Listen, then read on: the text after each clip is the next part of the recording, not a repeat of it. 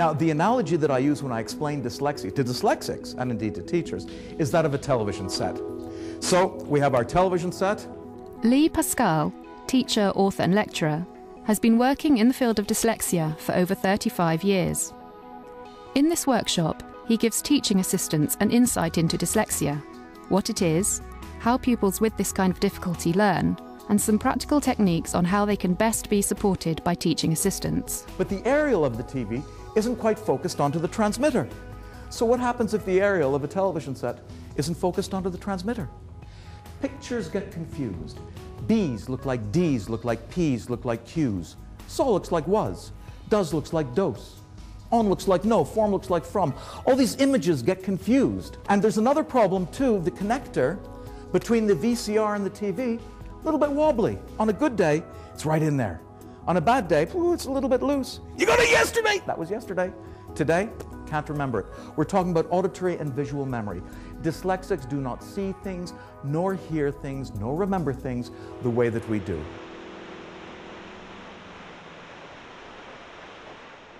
I had the perfect definition given me by a kid who came to me in year five. He had just transferred to the school and he was feeling very nervous and trepidatious and upset. And I could see, you know, he was just getting his way around and finding his way around the school and new places and, and new subjects and you know, this sort of thing. So, of course, I wanted to make him feel at ease. So I gave him a spelling test. And I said, no, no, I said, no, no. I said, Anthony, when you're with me, spelling is not your problem, okay? It's my problem. You make loads of mistakes, loads of mistakes, okay? And I'm the one that, I'm going to go home tonight, I'm going to say, oh, Anthony, what am I going to do about his spelling? Oh, my goodness, his spelling is... So immediately his shoulders come down. He realizes his teacher's off his nut, but he doesn't have to worry about spelling, right? So I said, Anthony, I'm going to give some really evil, nasty words to try. Just give them a try. Don't worry about it. I said, how about the word many? M-A-N-Y, no problem. I thought, great. I said, how about the word said? S-A-I-D, no problem. I said, how about the word does? D-O-E-S, no problem. That's brilliant. I said, how about the word because? Can you spell the word because? And he looked up and he said, oh yeah, sometimes. And that's it. That's it. On a good day, there it is. On a bad day, it's as though I've never seen it before in my life. You got it right yesterday. That was yesterday. Today, I'm sorry, it's gone. It's gone. We have to understand why it's happening. Anthony has to understand why it's happening. His teachers have to understand. His parents have to understand. Then, once we understand why it's happening, what the difficulty is, we can start to treat it the same as we would any other difficulty within the classroom.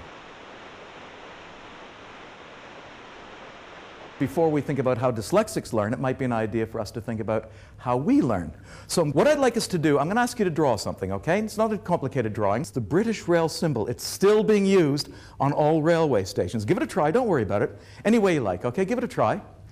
Give it a try. The symbol that tells you that it's a railway station, okay? Uh, uh, no peeking, please. Thank you. Thank you.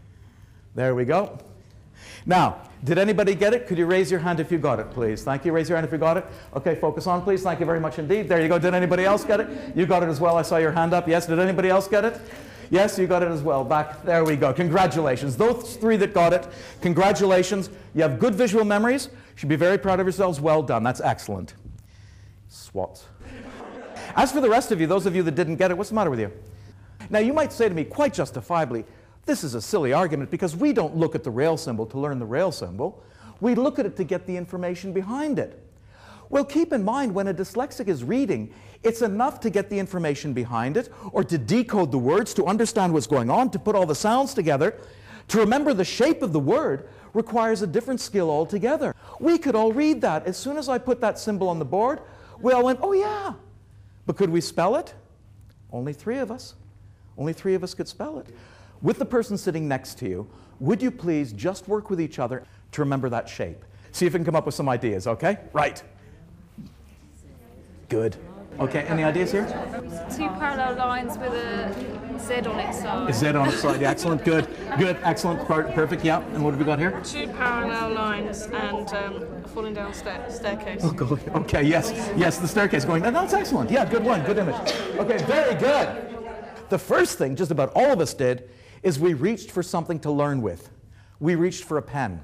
Now, there are very few rules that I pass on to my dyslexics, but from this age all the way up to that age is for them never to try and learn anything without a pen in their hand. It immediately gets them involved into active learning. And then you are using all sorts of methods to learn.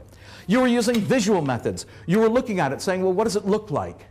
So I had people saying, well, it looks like railway tracks, looks like a Z, looks like a bolt of lightning, the electricity symbol. And then you were talking about it.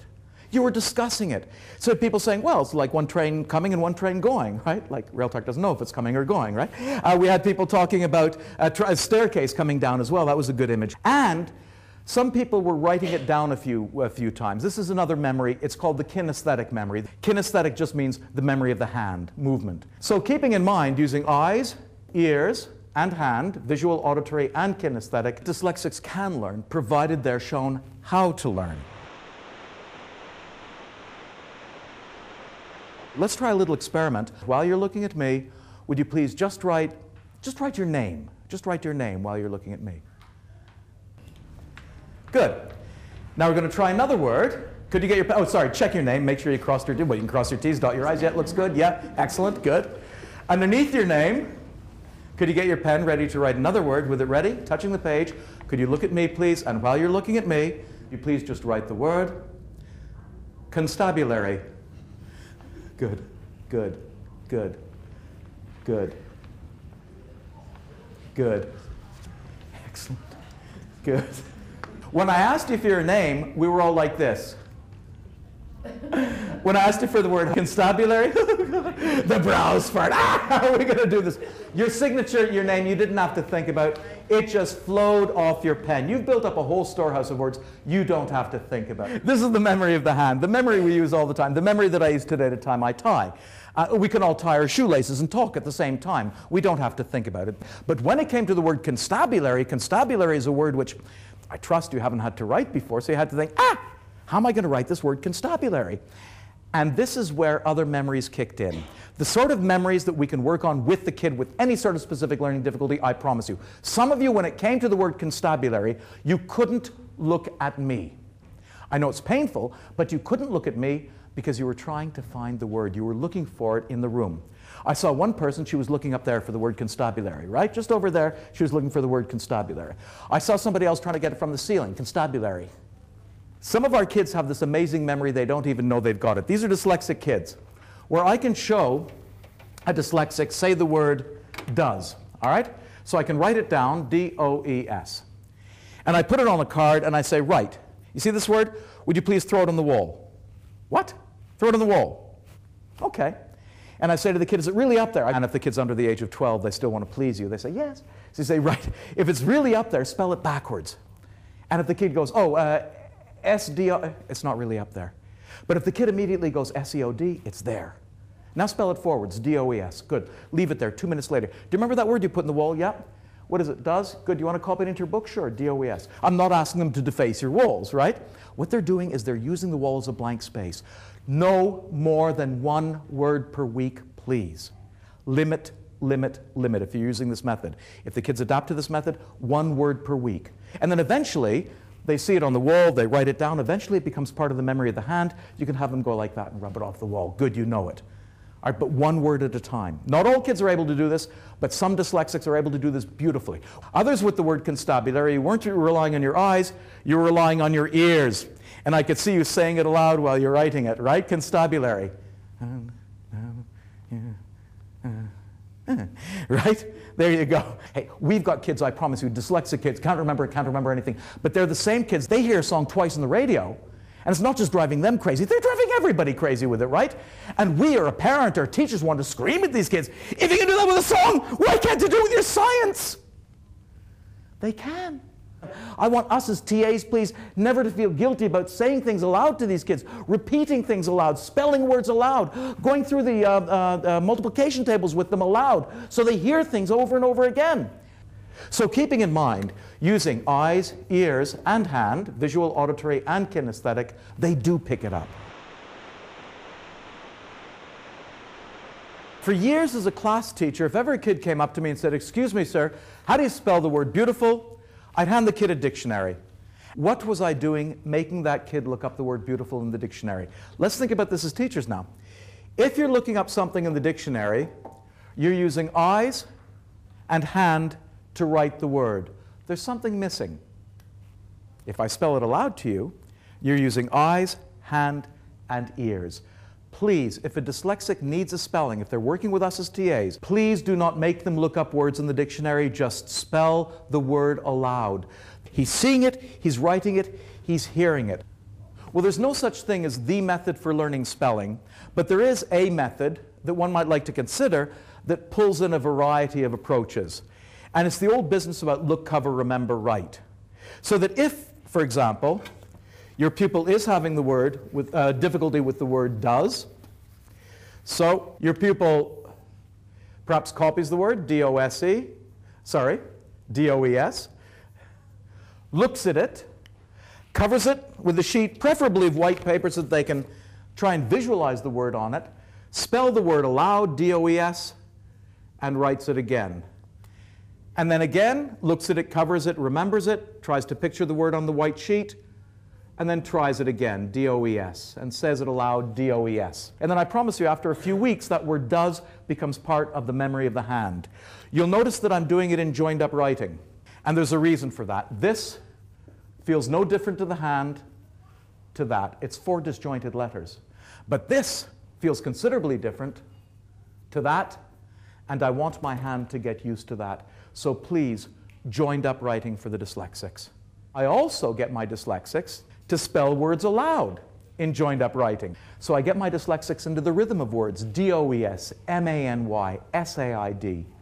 And then you can get into families, N-I-G-H-T, S-I-G-H-T, R-I-G, but so that they flow together. Instead of N-I-G-H-T, N-I-G-H-T. It becomes a word, and it helps the dyslexic to remember those words much, much more easily if they're joined together. What we have to get across to parents and what we have to accept as TAs is that the class teacher is teaching the children to read. Even the dyslexics, even the dyslexics, especially the dyslexics, are learning to read within the class. With us, there is an opportunity for the child to show off what they've learned in class. And they can't show off with something they find incredibly difficult. So please, the easier the better, whether it's a book, a comic, magazine, anything. When they're working with us, please, easy books. I remember once I was working with a 10-year-old, and uh, I said, why not use the remaining time, because I'm going to be working with somebody else, why not use the remaining time to do a bit of reading? I hate reading, Mr. Pascal. Well, come on now, I've got, I've got all sorts of books here. Just pick any book. I hate reading, Mr. Pascal. I said, look, I said, I've got comic books there. Pick up a comic. I hate reading, Mr. Pascal. I've got a skateboard magazine. You're into skateboarding. Pick up a, I hate reading, Mr. By this time, I'm getting, I'm human, you know, so I reach into my briefcase, I pull out a book, throw it on the table. Read. Shorty the hero. Reading age of about seven and a half, right? So there's Stephen, and he opens up the book. Mr. Pascal. Yes, Stephen. What's this word, please? Oh, he's going to get to me, right? The Stephen. Here we go. Okay, he's going to make me pay for this, right? Throwing this book at him, right? Yeah, okay. Thank you, Mr. Pascal. Shorty the Hare, my best friend. He can he one sound in my Anyway.